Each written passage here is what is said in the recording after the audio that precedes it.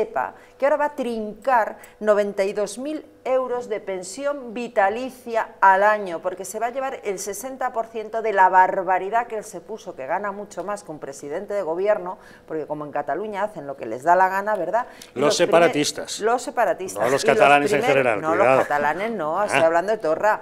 Que los catalanes ya quisieran llevarse 92.000 euros al año de forma vitalicia. No, no. Pero además que sepan que los primeros cuatro años va a trincar el 80% de su sueldo, eh, casi 120 y pico mil euros, más de 120.000 euros. Un señor que ha hecho una desobediencia contumaz, como dice el Supremo, a nuestro Estado de Derecho. Yo me felicito